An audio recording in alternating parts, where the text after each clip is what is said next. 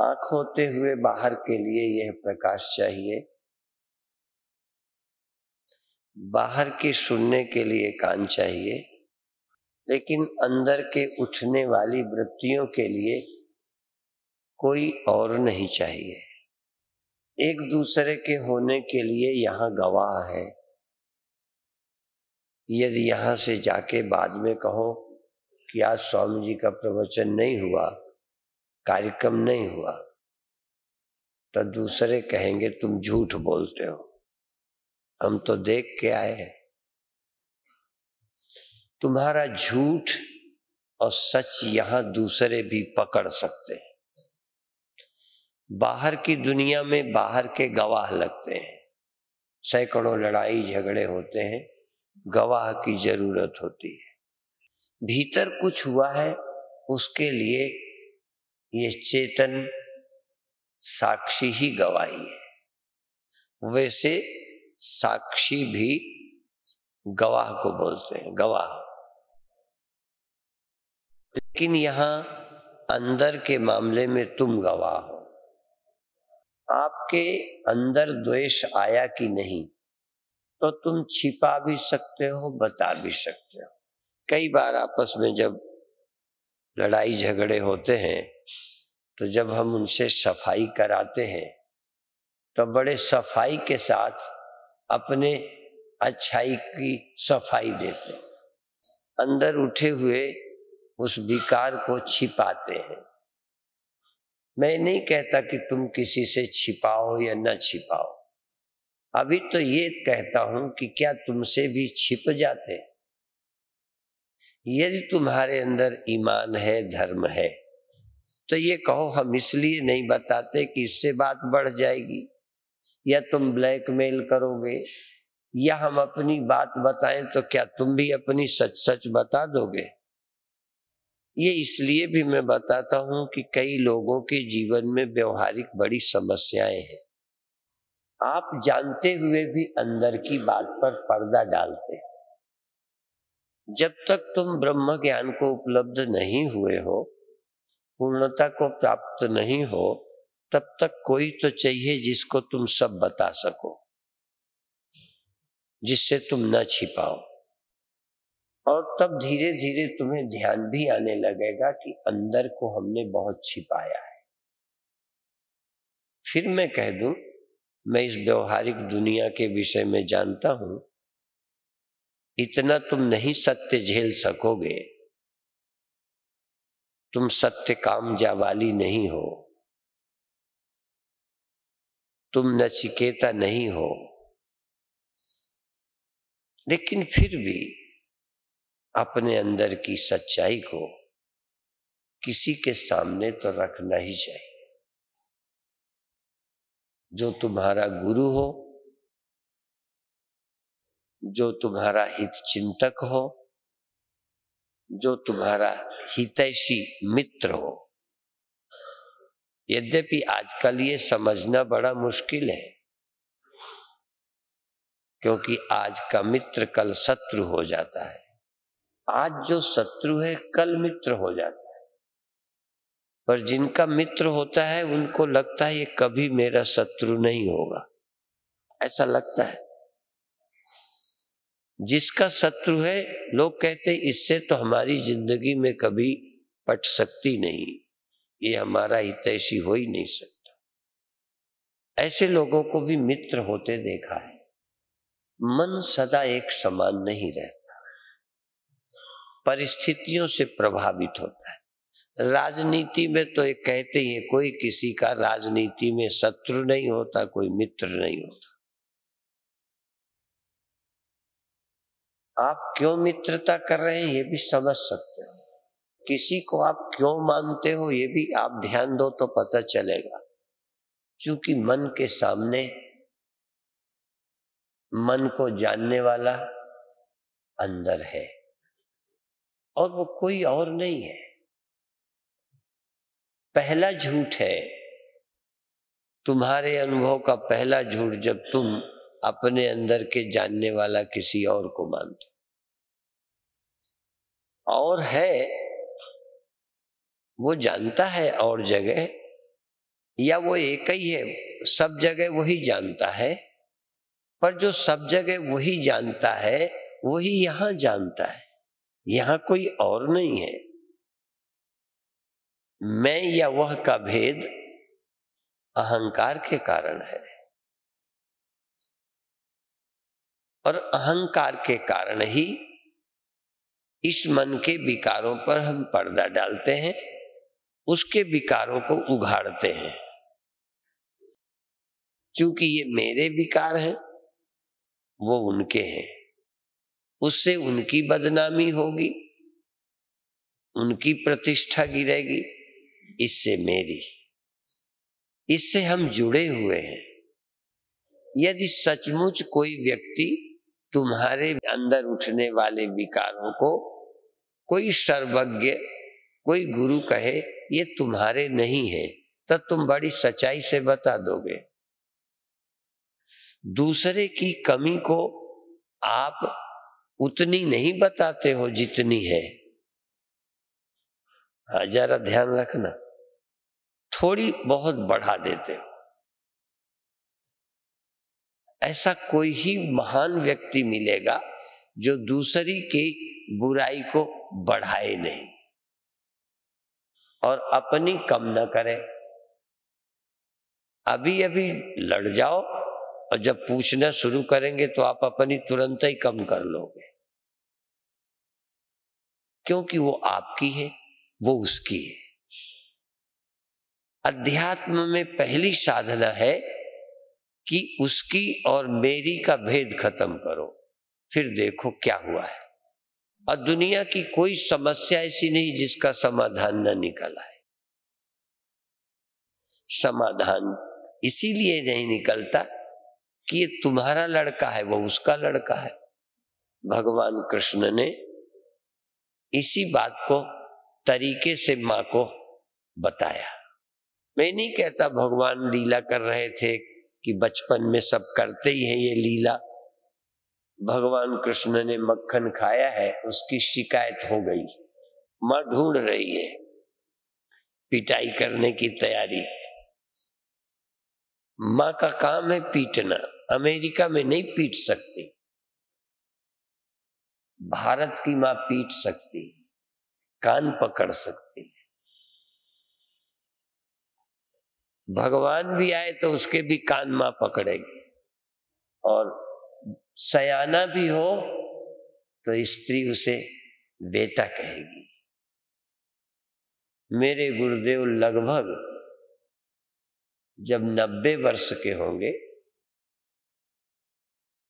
तब एक सत्तर वर्ष की माता सत्तर की बूढ़ी तो होती, और आम लोग तो सत्तर में पूरे बूढ़े हो जाते तब बूढ़ी माँ मेरे नब्बे वर्ष के गुरु के ऊपर हाथ फेर के कहती है, ठीक हो बेटा।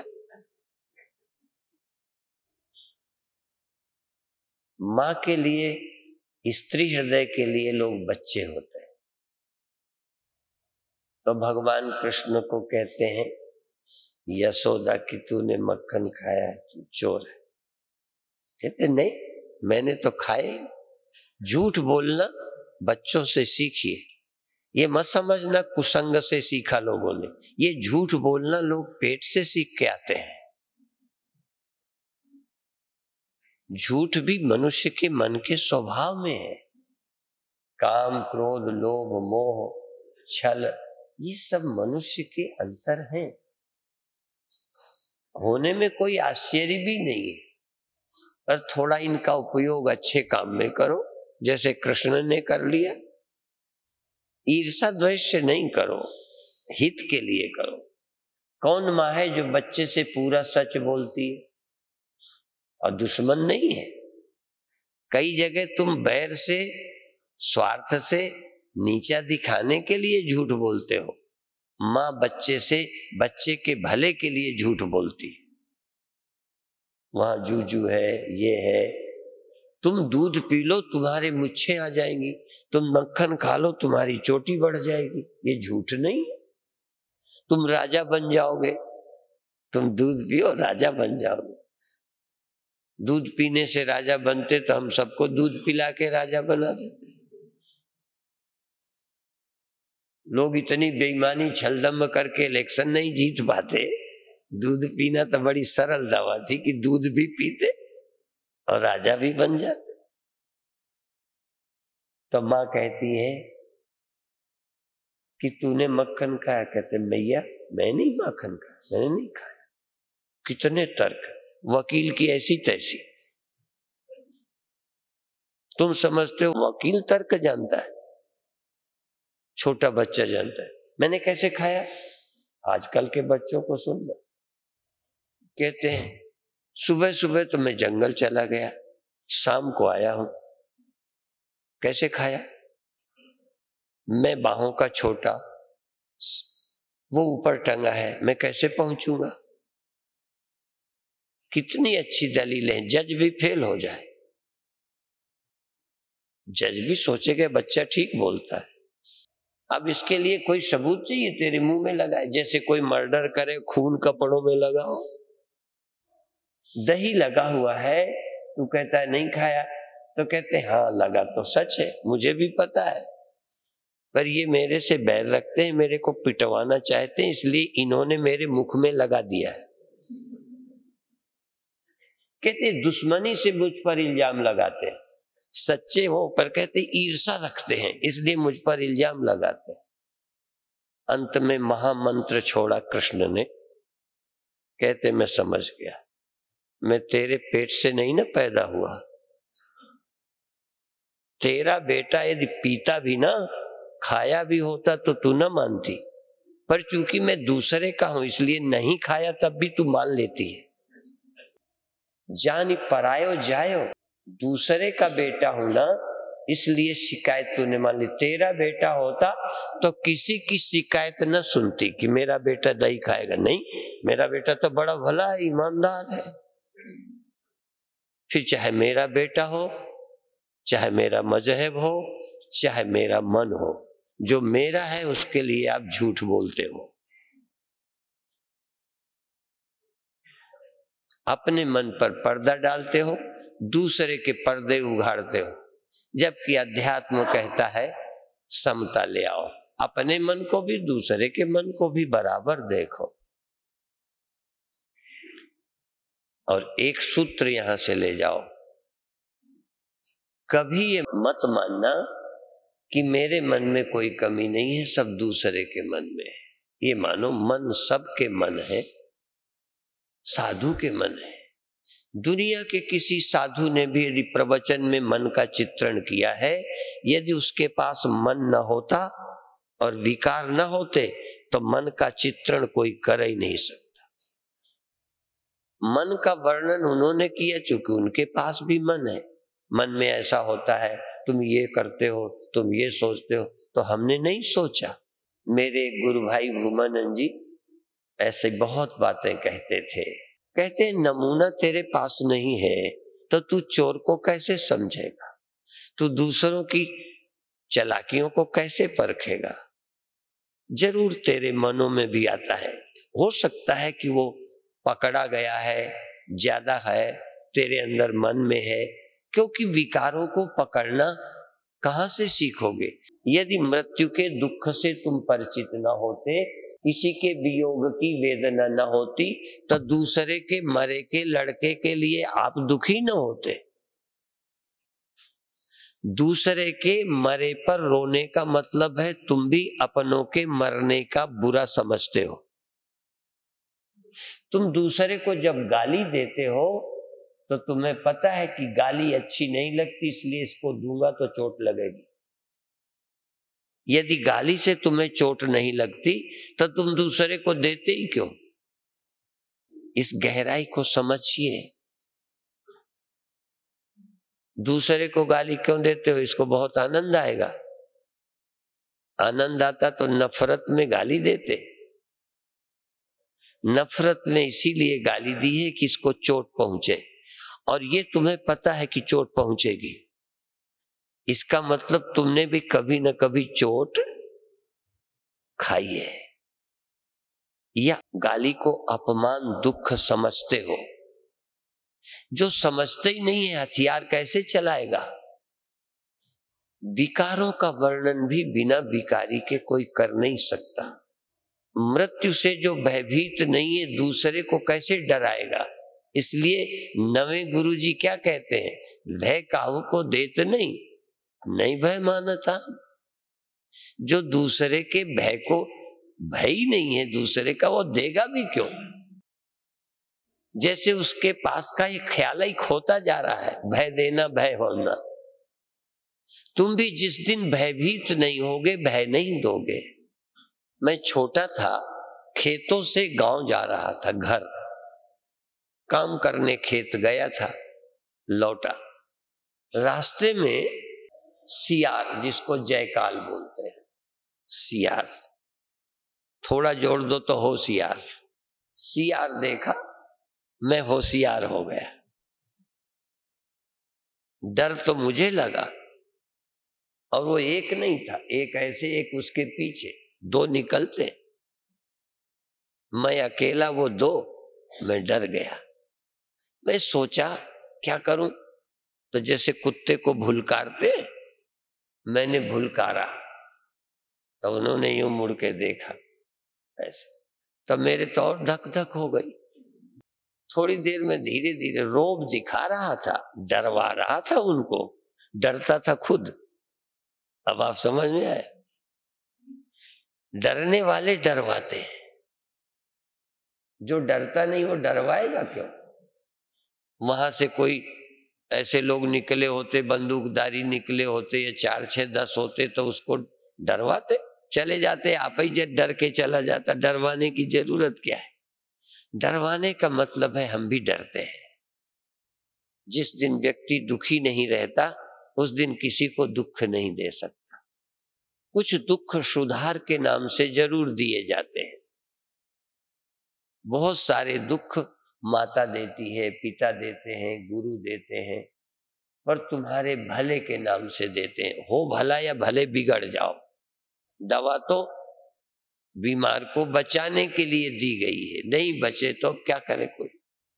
मारने की नीयत से डॉक्टर दवा नहीं देता, पर चूक हो जाए तो समझो डॉक्टर ही मार देता है। एक आध ऐसे केस हमारे हैं, हमें पता है कि डॉक्टर की गलती से मरे हैं। बहुत लोग सुधारने में बिगड़ जाते हैं। एक आध लड़के अभी मुझे मिले, ड्राइवर था एक। वो कहता था, हम पिता के सुधारने से बिगड़ गए वो ज़्यादा ही सुधारते थे, उससे मुझे प्रतिक्रिया होती थी, फिर मैं जिद्द में आकर पिता की बिल्कुल नहीं मानता था। कई बार छोटे बच्चों को पैर छुआने लाओगे ना, थोड़ा वो जिद्द में आ जाए, तुम और करोगे तो फिर वो बिल्कुल नहीं करता। उसका मन जब तक तैयार ना हो जाए, पैर मत छूने को, उसके मन को तैयार करो, बाद में छुएगा। मन को तैयार किए बिना पैर छूने को मजबूर करना ये बच्चे को बिगाड़ना है, बनाना नहीं है। बिना मन तैयार किए किसी को सन्यासी बनाना और मन तैयार किए बिना किसी को निर्विकार बनाना, ये भी खतरनाक है। तुम सबको निर्विकार बनाना चाहते हो। वो वो बिकारी होने को तैयार बैठा है। वो क्रोध को पसंद कर रहा है ईर्षा कर रहा है, काम के लिए रास्ते ढूंढ रहा है। और तुम निष्काम बनाना चाह रहे हो। वो तो कामना का स्वर्ग संजो रहा है। अभी उसके स्वर्ग की कामना है। उसे ख्याल में भी नहीं है कि कामनाओं का स्वर्ग कब नरक बन जाता है। कामनाओं से मिला हुआ लाभ कब हानि में बदल जाता है? सोच नहीं है, मनुष्य मूड है, ज्ञानी नहीं है। इसलिए नहीं हो ज्ञानी, सचमुच यदि जीवन से दुखी हो तो ज्ञानी की शरण जाओ। और शरण जाना तो दलीलें मत देना कि मैं क्षमा नहीं मांगूँगा। अभी बात सुन रहे थे ना? क्षमा कर दो, क्षमा मांग लो। कहते हैं, ये तो मैं नहीं कर सकता। किसी दो की चेलों की लड़ाई थी, मैंने सोचा। हम बड़े ढंग से इलाज करते हैं, पर फिर भी मूर्ख चेले न समझे तो अपन क्या करें? एक मूर्ख चेले को किसी से जलन थी, नफरत थी तो मैंने सोचा, कैसे नफरत मिटाना शुरू कराए? बोलचाल होगी तो नफरत कम हो जाएगी। जैसे पति पत्नी लड़ते हैं ना तो कई कई दिन, कई घंटे नहीं बोलते। फिर दोनों ठंडे हो जाते हैं, चाहते तो हैं कि बोलना शुरू हो जाए। पर करें क्या? शुरू कौन करे? नाक बड़ी विचित्र चीज़ है। अब पति पत्नी का झगड़ा है। एक की नाक है कि पति लेने आवे तब मैं जाऊँगी। एक की नाक है कि मैं लेने नहीं जाऊँगा, उसे अटकी हो तो आ जाए। चाहता है कि आ जाए, पर लेने नहीं जाना मुझे। अब बताओ, इतनी बात में काम अटकी है। और कोई उनसे तुम कम नहीं हो, भले तुम्हारी पत्नी का ना मामला हो, किसी और का हो, पर है सब जगह ऐसे तभी मैंने कल कहा था ना कि नाक कटाओ, ये बहुत बड़ी हो गई है। नाक समस्या बन गई। और ये कहानी मैंने अपने गुरु भाई से सुनी थी। सबने सुनी है, पर मैंने गुरु भाई से सुनी थी कि एक जाट जाटनी खूब लड़े गाली गलौज मारपीट हो गई। कई बार हो चुकी थी। अंत में एक दिन बाप तक पहुँच गए। कई पत्नियाँ तो और क्रोध में गलती करती हैं। एक पत्नी ने गलती की, अपने पति को कहती तुम असली बाप के हो तो अब मारो। अब जब कहता असली बाप के हो तो ले अब मारो तो असली बाप का था, फिर मार दिया उसने। ये नहीं कहा कि असली बाप के हो तो अब ना मारो। यदि अब मारा तो तुम नकली के हो, असली के नहीं। तो शायद रुकता। वैसे कठिन था, नकली का भी हो जाता क्रोध में। तब भी मार ही देता। पर फिर भी वो थोड़ा ढंग की बात थी। ये तो ये पानी में चढ़ाना कि असली बाप के हो तो मारो तो तो मारेगा। तो खैर, वहाँ बड़ी अच्छी बात हुई कि असली बाप के हो तो तुम आज से मुझसे मत बोलना। कहीं तू असली की हो तो तू ना बोलना। बस हो गई, असली बाप के थे।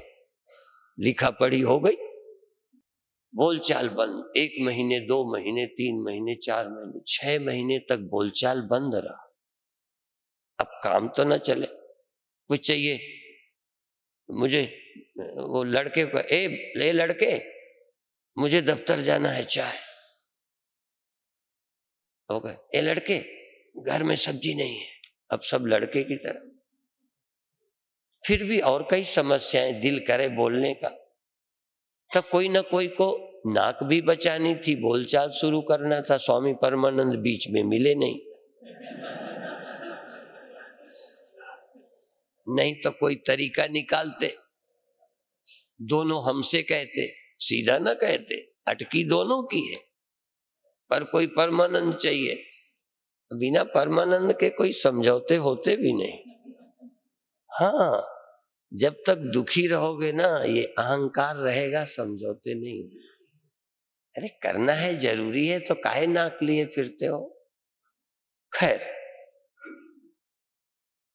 पति ने, पत्नी को पता नहीं, दिमाग में सोचा, अपना कपड़ा पीछे, हुक्का इधर, हुक्का पी रहा, गुड़गुड़ा रहा, कपड़ा पीछे आग की तरफ़। वो धीरे धीरे सुलगने लगा। देख तो इसने भी लिया था कि सुलग रहा है, सावधान भी था कि ज़्यादा जलेगा तो कुछ करूँगा। पर कोशिश थी कि खूब जले और ये देखे। अब बस मन एकाग्र, उसने देखा, कपड़ा जल रहा है, जल जाएँगे। फिर असली बाप के तो रहेंगे हम, पर पति खो जाएगा। तो कहती है, देखते नहीं हो, कपड़ा जल रहा है। हाँ कहता है हाँ कोई बात नहीं है, कपड़ा जल गया तो जल गया बोल चाल तो शुरू हो गया।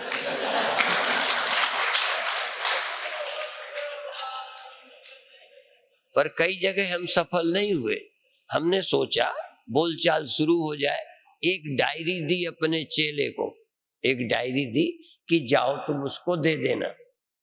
जब वहाँ जाना ना दिल्ली तो ये डायरी उसको दे देना।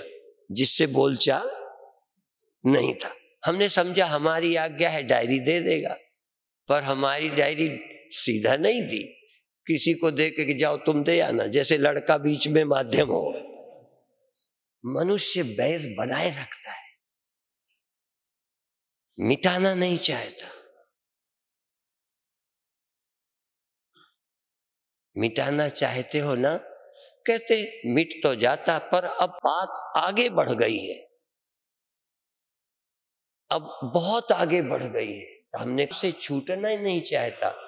उपाय तो स्वामी अकामानंद ने बताए, भागवत ने बताए, उपाय तो हम भी बता दें, पर करेगा कौन? हमने तो उपाय समझ के ही डायरी दी, पर महानुभाव ने डायरी ही नहीं दी उसको, किसी और से दिला भेजी। हमने कोई कहा लो, जाके उनको ये बता दो। कि स्वामी जी आ रहे हैं। तो ये भी खुद नहीं कहा, जाओ कह दो कि स्वामी जी आ रहे हैं, उनको कह दो जा। खुद नहीं कहते। आदमी इतनी नाक को लिए रहता है। कैसे तुम बैर मिटाओगे? कैसे तुम जलन मिटाओगे? कैसे भी तुम दुख मिटाओगे?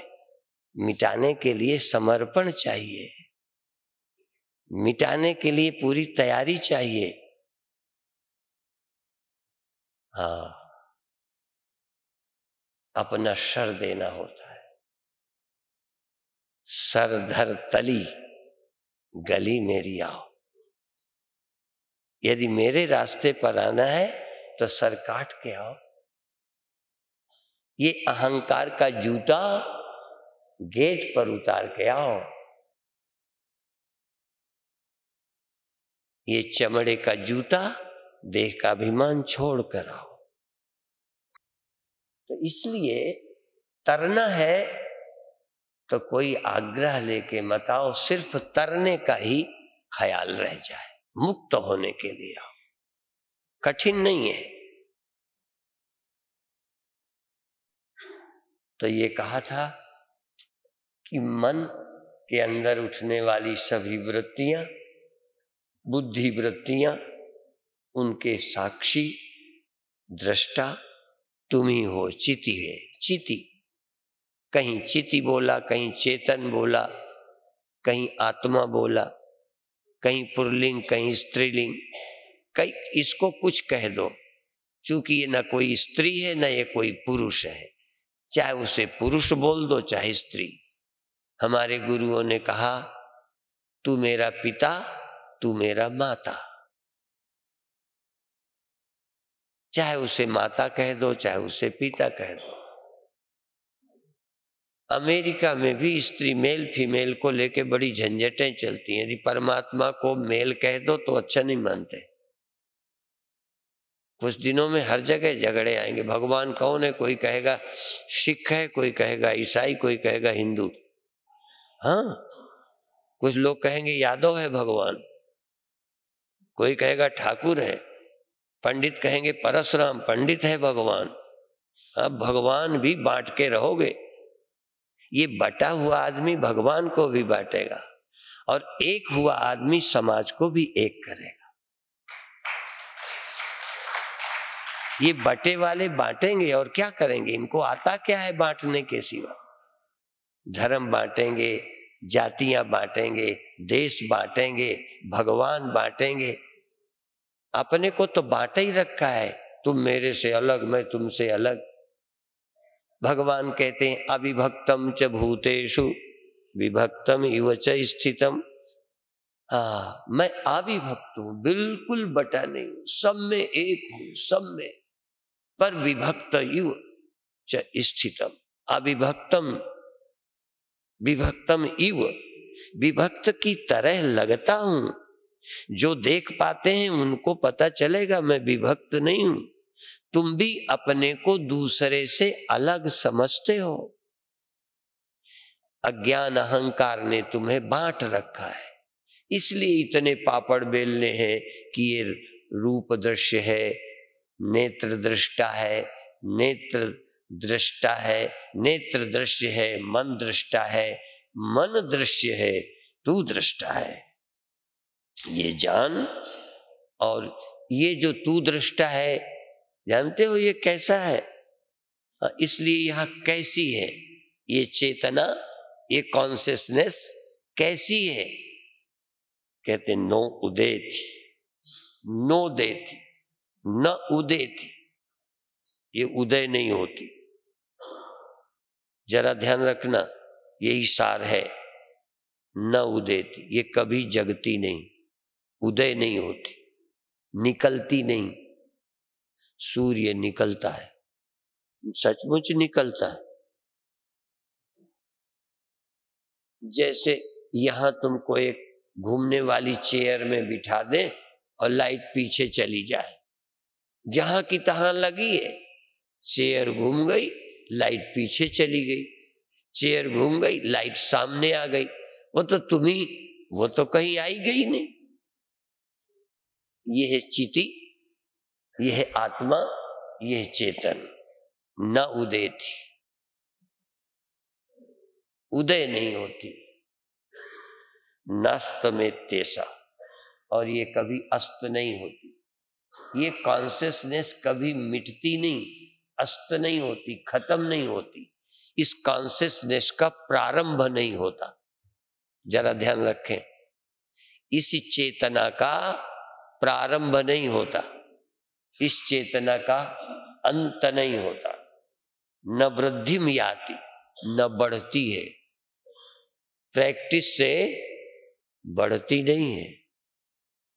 अभी तो तुम्हें लगता है ना, जरा ध्यान करने से चेतना बढ़ती है। जरा यही तो बड़ा है मामला। बढ़ती है, पर वो रियल कॉन्सियसनेस नहीं है। जो बढ़ती है, वह चिति नहीं है। जो बढ़ती है वो चेतन नहीं है। जो बढ़ता है, बढ़ती आत्मा नहीं है। आत्मा बढ़ती नहीं है। गीता में भी वही कहा है। जरा गहराई से देखो। पर तुम्हें बढ़ती लगती है। बिल्कुल लगती है। नहीं तो ज्ञान की ज़रूरत क्या है? ये जरा ध्यान रखना। तुम कहोगे, मेरा अनुभव प्रमाण है। तुम्हारे अनुभव के आधार पर ज्ञान बढ़ता घटता है। तुम्हारे अनुभव के आधार पर चेतना का उदय और अस्त होता है। जन्म और मृत्यु होती है। सवाल तुम्हारा अनुभव और जो ग्रंथ कहते हैं, ज्ञानियों की जो सोच है, उसमें ज़मीन आसमान का फ़र्क है। यदि तुम अपने अनुभव से सुनोगे ना तो तुम गुरु से कभी सहमत नहीं हो सकते। तुम्हारे हिसाब से तो शरीर जीवन है, इसका न रहना मृत्यु है। तुम्हारे हिसाब से तो ये मिल गया सुख है, ये चला गया दुख है, हाय हम मर गए। यदि गुरु के सुनोगे ना तो तुमको ये अनुभव होगा क्या? अभी तो सुनो।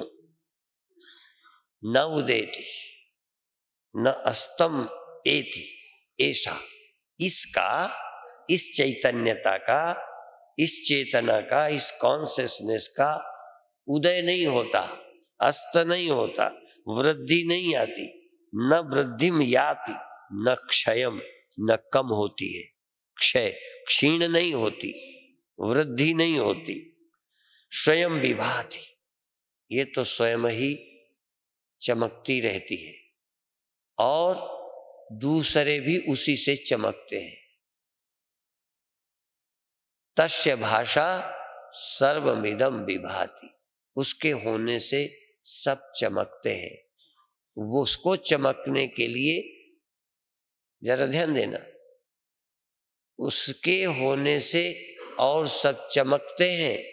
उसको अपने चमकने के लिए इंद्रियाँ नहीं चाहिए। न तत्र चक्षुर गच्छति न वाग गच्छति वहाँ आँखें नहीं चाहिए उसके होने के लिए, उसके होने के अनुभव के लिए, उसकी उपस्थिति के लिए आँख नहीं चाहिए, कान नहीं चाहिए। इस क्रम को जरा समझें, आवश्यक है। आँखें नहीं चाहिए का मतलब नहीं में अर्थ है, आँखें चाहिए। दूसरे को देखने के लिए। अपने होने के लिए, अपने जीने के लिए, अपने आनंद के लिए उसे कुछ नहीं चाहिए। और यही भ्रम तोड़ना है।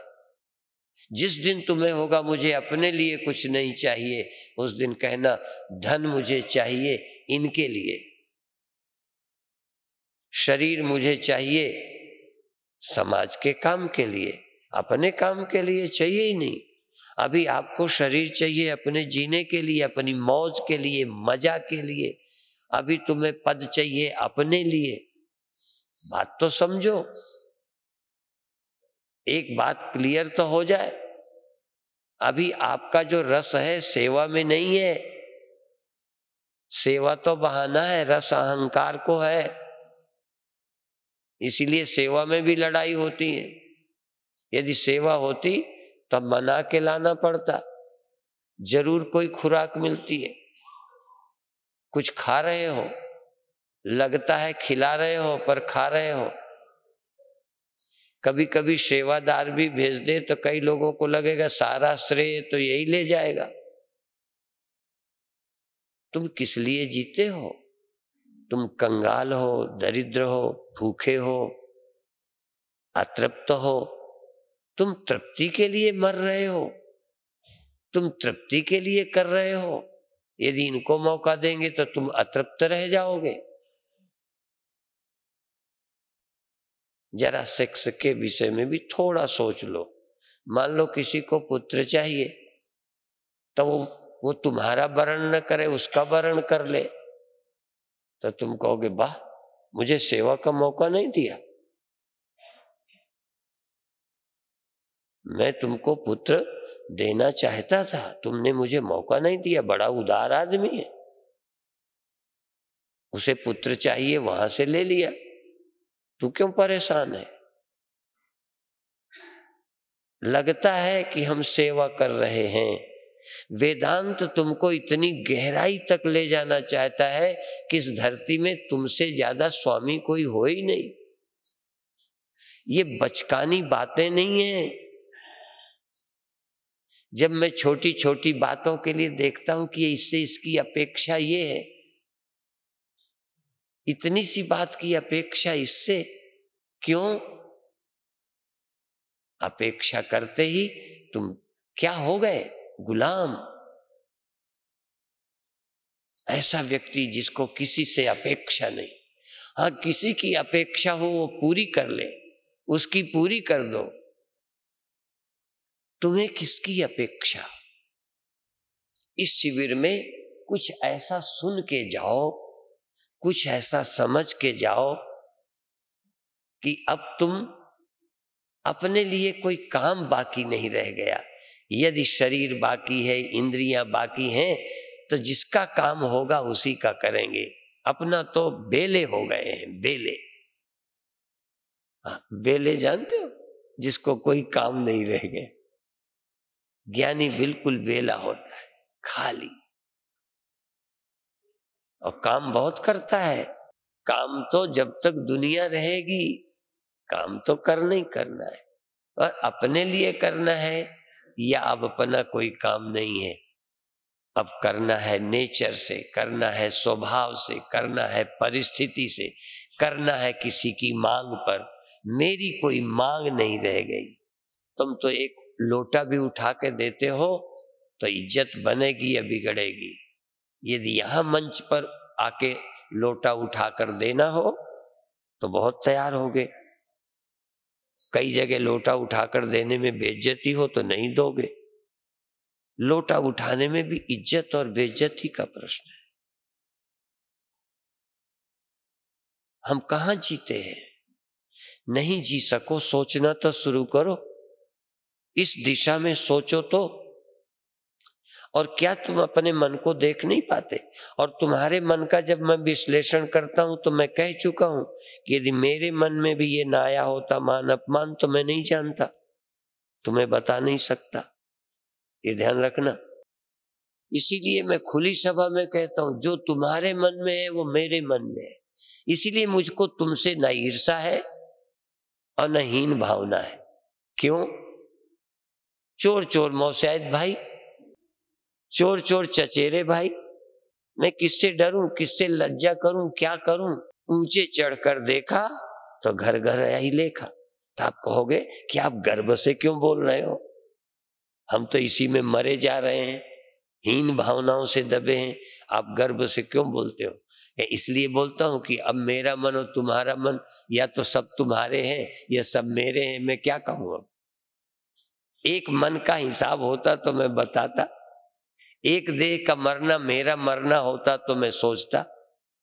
मैं कोई यहीं भर होता, इसका मैं भोगता होता तो मैं सोचता, सब जगह मैं हूँ, मैं किसकी बात कहूँ?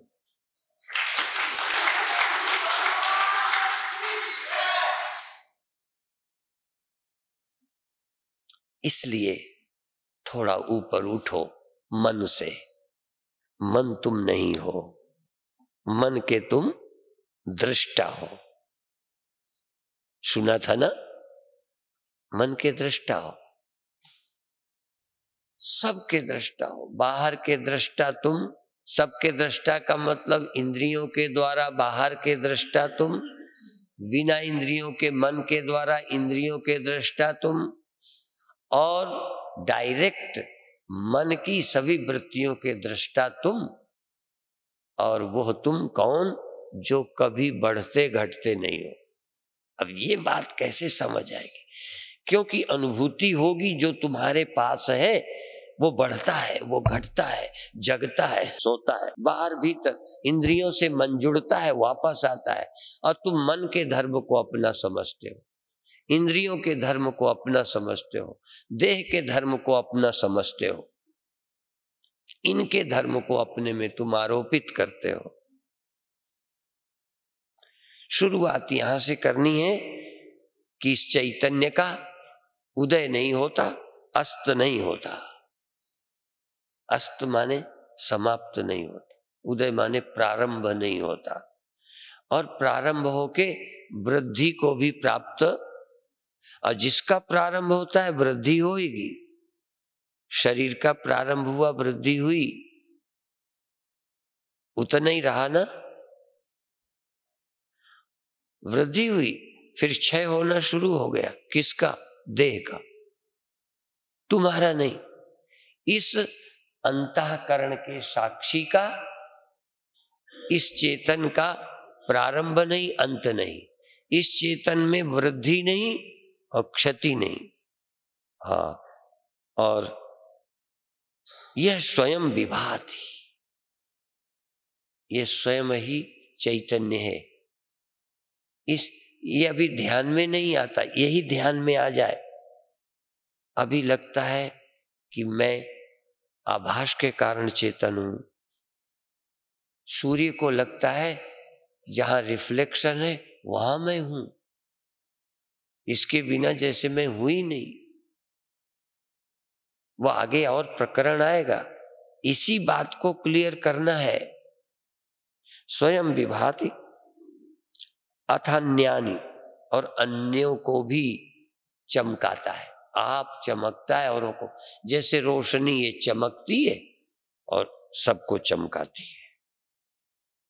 तस्य भाषा सर्वविदम भाति और भी श्लोक और जगह के, न तत्र सूर्यो भाति न चंद्र तारकम नेमा विद्युतो भांति कुतो यम अग्नि जहाँ चंद्रमा नहीं चमकता।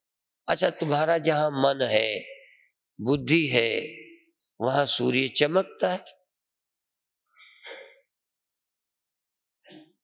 जहाँ कोई नहीं चमकता, तहां तुम चमक रहे हो। मन में क्या आया? मन में क्या हुआ? तुम चमक रहे हो, देख रहे हो, प्रकाश रहे हो। यहाँ तो टार्च से देखते हो, अग्नि से लाइट जला के वहाँ किससे देखोगे? इसलिए उसको कैसे देखना है? स्वयं विभाति, अथ अन्यानी भाषयत साधनम बिना। बिना साधनों के वहाँ शुरू करना है, जहाँ बिना साधनों के वो देखता है। आँख से जहाँ देखता है वहाँ शुरू मत करो, कान से। नहीं, इंद्रियों के द्वारा नहीं, मन के द्वारा भी वो जो जो सीधा, बिना किसी साधन के मन को जगते को और सो जाते वाले को, स्वप्न वाले, जो मन को, मन की सभी वृत्तियों को प्रकाश रहा है, वो तुम हो। वो नहीं हो ना? अच्छा तुम्हारे मन को तुमने नहीं प्रकाशा ना? मैं आया था हेल्प करने। बोलो। तुम्ही वहाँ चंद्रमा लाए थे, अपने क्रोध को, काम को, संकल्प को, श्रद्धा को, अश्रद्धा को, अपने अंदर के संदेह को जानने के लिए किसी और को बुलाया था? या रोशनी और कहीं से लाए थे? इसलिए अंतर के इस साक्षी को, जिसका कभी उदय नहीं होता हाँ वृत्ति का उदय होता है, वृत्ति का अस्त होता है। काम का उदय काम का अस्त होता है। श्रद्धा का उदय श्रद्धा का अस्त होता है। लज्जा आती है, लज्जा चली भी जाती है। कामी जितना बेशर्म कोई दुनिया में होता नहीं। कामातुराणाम भयम न लज्जा। उसको न भय रहे, न लज्जा रहे। न घृणा रहे। सारी पंडिताई सारी चतुराई चली जाती है। आ, इस अंतकरण के सभी धर्मों को किससे प्रकाशते हैं? कौन कह तू प्रकाशता है सीधा प्रकाशता है किसी और की सहायता के बिना प्रकाशता है? इसको जान बिना साधन के अभी उसमें तुम नहीं कहते, ये मैं अपनी ओर से बोल देता हूँ। जो प्रकाशता है उसका नाम तुम है। पर अभी तुम उसको नहीं जान पाए, ये श्लोक बाकी कल करेंगे। आप स्वयं कहीं बैठकर, लेटकर आदत पड़ी है बहुत बाहर देखने की। आँखों से, इंद्रियों से छोड़ो, मन से छोड़ो। मन मन से नहीं, मन को देखो। मन कहाँ है क्या करता है क्या सोचता है तुम सावधान रह के साक्षी रह के आ, साक्षी हो ही साक्षी तो होई पर साक्षी होके सावधान होके मैं द्वारा हाँ थोड़ा अहंकार की ज़रूरत है यहाँ मैं साक्षी हूँ। हाँ ये भी बहुत ज़रूरी है मैं साक्षी हूँ।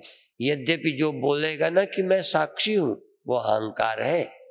साक्षी को तो बोलने की ज़रूरत नहीं है, वो तो सदा ही है। इसलिए एक सदा साक्षी है, अहंकार भी थोड़ी देर को साक्षी बनेगा। जैसे देह बन जाता है, स्वप्न बन जाता है, सुखी दुखी, अहंकार की चर्चा अगली सभा में करेंगे और समय निकालकर समय पर इस बात को समझने की कोशिश करें, क्योंकि समय निकल जाएगा अवसर खो जाएगा। फिर इससे वंचित रह जाओगे। ये बिना समझे, बिना क्लियर हुए बात बनेगी नहीं। तुम निश्चिंत, निर्द्वंद, अभय नहीं हो सकते। इसके लिए आवश्यक है इस आत्मा का अनुभव करना। उसी के लिए ये दृग दृश्य विवेक पुस्तक का प्रारंभ किया गया है। ओम शांति